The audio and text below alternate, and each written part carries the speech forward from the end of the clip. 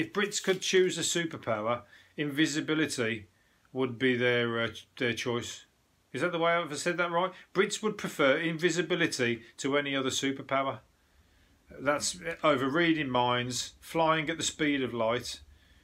Two thousand people, uh, the vast two thousand people, followed by having X-ray vision and laser beam eyes. Invisibility. Oh, well, it'd be good if you could turn it on and off, not just be permanently invisible. Yeah, it'd be good if you could just. That'd be pretty cool. Pretty cool. Reading minds.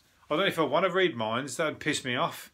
Imagine if you're reading minds. Imagine if like you're sitting down having a drink with somebody and you're like you're having a good time. All of a sudden, you start hearing them saying what a prick you are in their own mind.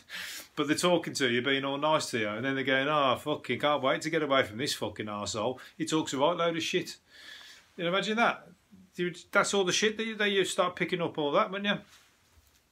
Or, or uh, on a date, and she's like saying all like thinking all nasty things about you, and so on.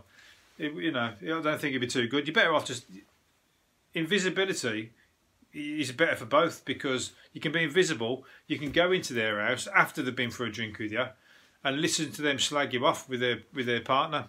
And if they do, then you can set them up by fucking leaving porn mags under the bed or uh, writing a, a, woman's number and putting it in his pocket, something like that, and stitch him up, back up for being an asshole. Yeah, so invisibility, I'll take that one.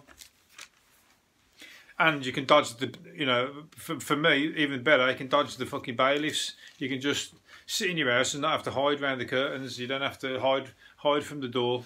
You can just be invisible, just disappear you can get onto plane. Well, I don't know if you get onto planes. You'd have to get onto. You, I don't know how you get onto plane, but you get onto fucking ships and everything. When you if you get get on the ship, you can travel for free.